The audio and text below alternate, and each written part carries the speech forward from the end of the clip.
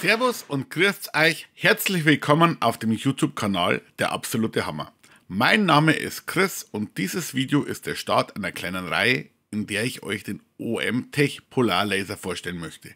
Der OM-Tech Polar ist ein kompakter CO2-Laser, der bereits out of the box ohne größere Umbauten verwendet werden kann und in gewissen Punkten den Diodenlasern weit überlegen ist.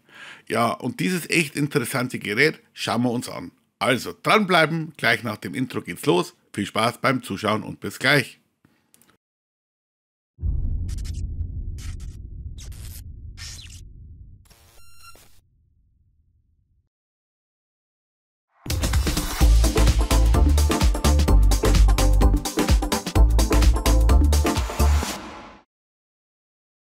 Zuerst möchte ich mich bei der Firma OM-Tech bedanken. Sie haben mir Ihren Polar-Laser für die Videos zur Verfügung gestellt. Vorab sei mal gesagt, dass der Polar knappe 50 Kilo wiegt. Das heißt, nichts mit Karton aller 3D-Drucker, der Laser kommt gut verpackt in einer Holzschachtel auf Palette mit einer Spedition. Die Verpackung selbst wird dann auch noch locker 10 Kilo auf die Waage bringen, wenn es nicht mehr ist. Daher empfehle ich euch unbedingt, dass ihr euch eine zweite Person holt, mit der ihr den Laser an seinen Bestimmungsort trägt. Und ja, vielleicht seid ihr da stärker als ich, aber das Ding ist für eine Person echt unhandlich. Nein, im Ernst, schont euren Rücken und macht das zu zweit. Die Maße sind in etwa 115 x 70 x 50 cm. Wenn die Box dann aber endlich mal an ihrem Bestimmungsort angekommen ist, dann geht's auch schon los mit dem Auspacken. Und dazu muss erstmal der Deckel ab. Dafür braucht es kein Cuttermesser, sondern einen Schraubendreher. Mit ihm werden die ganzen Klammern umgebogen, sodass man den Deckel abnehmen kann. Also eigentlich zurückgebogen. Umgebogen wurden sie, damit der Deckel zu war. Ich möchte eines dazu sagen. Ich hatte inzwischen ja doch einige Diodenlaser auf dem Tisch von 3 bis 40 Watt. Aber das ist mein erster CO2-Laser. Klar, Laser wie den K40 kenne ich, aber ich hatte noch keinen in der Hand. Ich bin gespannt. Insbesondere durch den deutlich höheren Preis erwarte ich mir auch deutlich mehr an Sicherheit, Komfort und Features. Das Thema Gravieren und Schneiden von Acryl und Glas hat es mir besonders angetan. Klar, äh, Glas natürlich nur gravieren. Transparentes Acryl gravieren geht ja beim Diodenlaser ohne Hilfsmittel wie Kreidestifte gar nicht so einfach. Und das ist hier für den CO2-Laser wohl gar kein Problem den Diodenlaser eben schon ein bisschen. Das liegt auch ganz einfach erklärt daran, dass die Wellenlänge des Lichts hier deutlich unterschiedlich ist. Während die Diodenlaser mit ca. 455 Nanometern Wellenlänge arbeiten, arbeitet der Polar mit 10,6 Mikrometer. Aber jetzt zurück zum Auspacken. Sobald der Deckel dann endlich mal ab ist und die erste Schicht Verpackungsmaterial entfernt ist, kommt das gute Stück auch schon zum Vorschein. Ich muss eines sagen, ich bin jetzt schon positiv überrascht. Hier hat jemand mitgedacht. Um den Laser sind zwei Art Spanngurte rum, mit denen man ihn leicht aus der Verpackung heben kann. Also so leicht man eben 50 Kilo heben möchte. Der ein oder andere mag das alleine heben, hier empfehle ich aber nochmal, holt euch jemand dazu, tut ihr euch so leichter. Gleich mal eine Frage an euch. Hat jemand von euch schon ein vergleichbares Gerät ausgepackt? War es hier auch so mit dem Band drumherum zum einfachen Rausheben oder ist das jetzt ein spezielles Feature von diesem Gerät? Dann schauen wir uns doch mal den Lieferumfang an. Ganz oben, hatten wir vorher bereits gesehen, lag ein Honeycomb und darunter, also unter dem Gerät, lag noch Material zum Testen, ein ganzer Packen. Dann kam der komplette Laser, in Folie eingepackt, um das Glas zu schützen. Ein Handbuch in Deutsch haben wir übrigens auch. Im Laser selbst findet sich noch diverses Zubehör, die Abluftpumpe und Abluftschläuche, Kabel, USB-Kabel, Kaltgerätekabel und ein paar Ersatzteile. Nachdem das alles entfernt ist, kann man das Honeycomb einlegen. Aber probiert das nicht wie ich von oben, sondern das Ding muss von vorne rein. Unten vorne an der Front ist eine Schublade, die zieht man heraus, dann legt man das Honeycomb ein und schiebt sie wieder rein. Ja, recht viel ist auch nicht mehr zu machen. Der Laser kommt ziemlich komplett zusammengebaut daher. Hinten muss noch ein Sicherungsstecker eingesteckt werden, der Abluftschlauch sollte noch hinten montiert werden. Den müsste dann eben draußen irgendwo aus dem Fenster hängen oder so ähnlich. Und natürlich USB-Kabel, zwei Stück an der Zahl, einmal für den Laser, einmal für die Kamera, an den Rechner ran, mit dem ihr ihn bedient, Kaltgerätekabel, ja, und dann kann das Ding eigentlich schon eingeschaltet werden.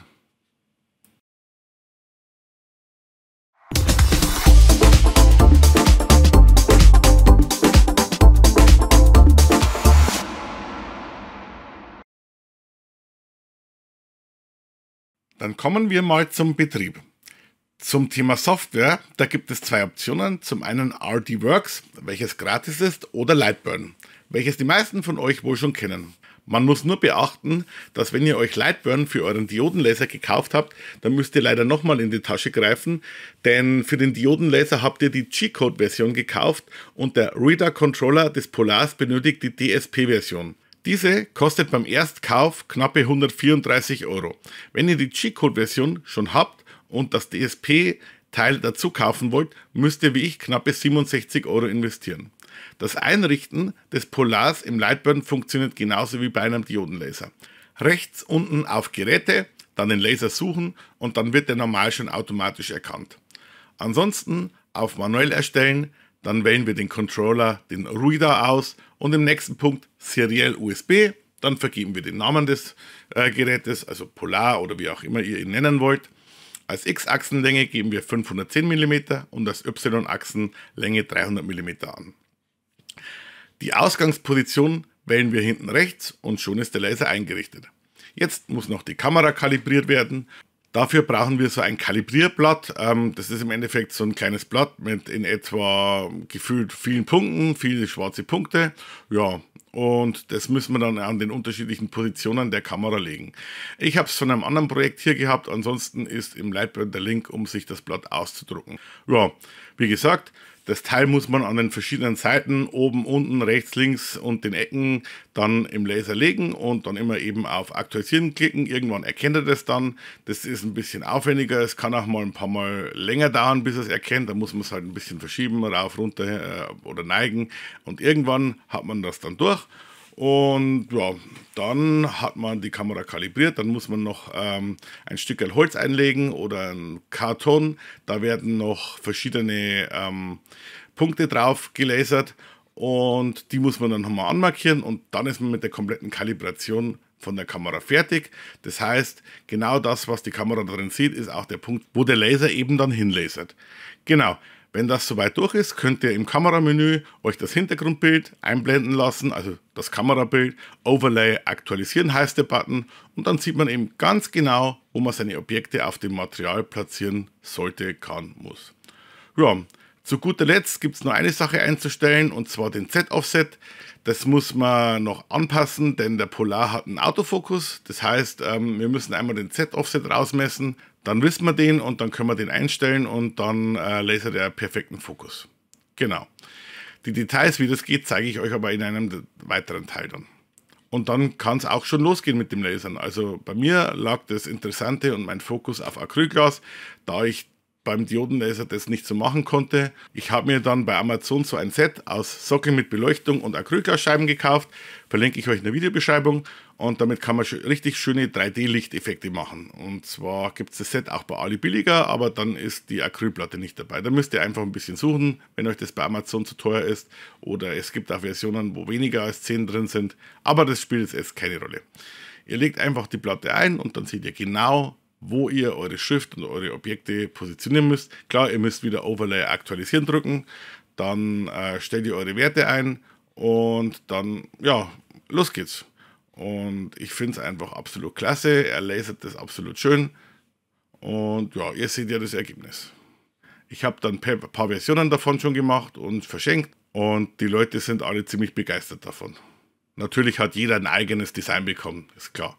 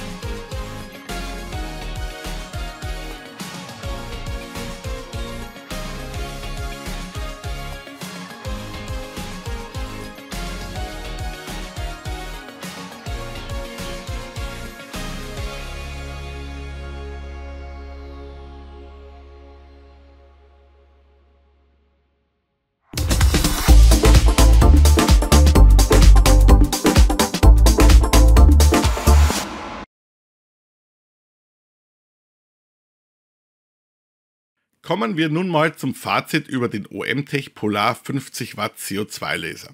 Ein Vergleich zu den von mir bisher getesteten Diodenlaser ist nur sehr schwer möglich, da der Polar einfach in einer anderen Liga spielt.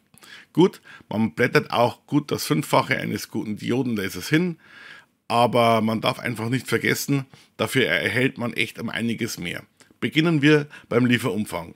Das passende Honeycomb ist dabei, ein Rotary-Modul ist dabei und auch eine Absaugpumpe sowie die passenden Abluftschläuche. Alles dabei. Zum geschlossenen Gehäuse, also wirklich alles, was man braucht, um wirklich sauber und ohne größere Atemprobleme lasern zu können. Zum Gerät selbst. Wie gesagt, es ist meine erste Berührung mit einem CO2-Laser, aber ich habe einiges im Netz nachgelesen und viele Stunden Videos zu dem Thema konsumiert. Der Kanal K40 Keller ist zum Beispiel eine klasse Infoquelle, wenn man hier tiefer einsteigen möchte. Jedenfalls möchte ich mal meine persönlichen Highlights des Gerätes hervorheben. Es wäre zum einen mal die Bauweise. Mit 47 Kilo und einer Größe von 970 x 565 und einer Höhe von 234 mm ist er wirklich sehr kompakt gebaut. Er hat bereits eine Wasserkühlung und einen Air Assist integriert und man braucht zubehörmäßig nichts mehr dazu. Der Autofokus ist ein wirklich tolles Feature. Allerdings habe ich hier einen kleinen Bug gefunden. Ich weiß nicht, ob es am Lightburn oder am Gerät liegt. Jedenfalls, wenn der Laservorgang startet, stellt sich der Fokus ein, ist klar. Und nach Beendigung fährt er wieder auf Nullpunkt zurück. So sollte es auch sein. Wenn man den Vorgang, also den Laservorgang, aber manuell abbricht oder unterbricht, dann fährt er eben nicht auf den Nullpunkt zurück, sondern muss das manuell im Lightburn nachholen. Ansonsten nimmt er beim nächsten Vorgang den eingestellten Punkt als Nullpunkt. Und dann ist der Fokus eben verstellt und es wird nicht mehr perfekt gelasert. Das ist dann natürlich nicht so gut. Aber wie gesagt, ich bin mir nicht sicher, liegt es am Lightburn oder am Laser selbst. Ich werde dem Thema auf jeden Fall noch weiter hinterhergehen und versuchen dafür eine Lösung zu finden. Gut, wenn wir gerade bei dem Punkt sind, eine Sache, die mich noch etwas stört, aber das glaube ich fast ist ein reines Lightburn-Thema, der Z-Offset. Ich habe keinen Weg gefunden, den in Lightburn fix einzustellen. Er soll also für mich permanent erhalten bleiben. Hat jemand einen Weg oder wie macht ihr das? Habt ihr so eine Situation überhaupt? Aktuell stelle ich den Z-Versatz für jede Ebene einzeln ein. Das gefällt mir aber so nicht. Ich hätte den gern einmal fix für das Gerät eingestellt und dann wäre gut für immer. Das wäre meine Ideallösung. Ja, gut, ähm, machen wir weiter. Was mir an diesem Ding noch sehr gut gefällt, im Gegensatz zu einem Diodenlaser ist der Kopf echt leicht und das schon natürlich die Mechanik. Bei einem Diodenlaser sitzen die Dioden und die Lüftung und Elektronik natürlich im Kopf und das wiegt dann einiges. So ein 40 Watt Diodenlaserkopf hat schon ein ganz schönes Gewicht und der muss ja beschleunigt und abgebremst werden von X- und Y-Motoren. So, wenn der Kopf natürlich deutlich leichter ist, dann ist das für die Motoren auch schonender und die Geräte sind dadurch deutlich langlebiger, also meine Meinung. Ja, dann zur Verarbeitung. Das Gerät ist wirklich klasse verarbeitet. Sauber gebaut, keine scharfen Kanten. Der Deckel ist auf beiden Seiten mit einem Schalter versehen. So kann wirklich sichergestellt werden, dass man ihn nicht öffnen kann, während der Laser arbeitet. Also der Laser schaltet ab, wenn der Deckel geöffnet wird. Super Sache. Für die Sicherung gibt es einen kleinen Stecker auf der Rückseite, den man als Schlüssel verwenden kann. Abgesteckt geht auch nichts mehr. So kann kein unbefugter oder Kind das Gerät bedienen.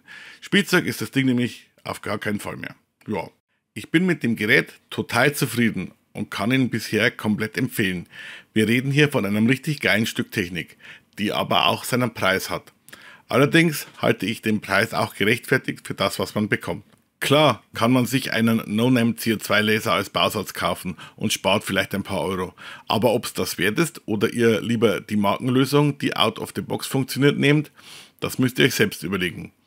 Ich kann euch auf jeden Fall einen Gutscheincode anbieten. Mit dem Code HAMMER spart ihr 1% und habt somit wenigstens auch einen kleinen finanziellen Vorteil. Habt ihr irgendwelche Wünsche, was ihr von dem Gerät genau noch sehen wollt? Schreibt sie mir doch in die Kommentare und ich versuche, wenn möglich, das in einem der folgenden Teile zu zeigen. Ansonsten bedanke ich mich jetzt fürs Zuschauen und hoffe, dass euch das Video gefallen hat. Lasst mir doch einen Daumen hoch da und ein Abo, dann verpasst ihr kein weiteres Video mehr und macht mir echt eine Freude. In diesem Sinne, Servus, habe Ehre, macht's es gut und bis zum nächsten Mal.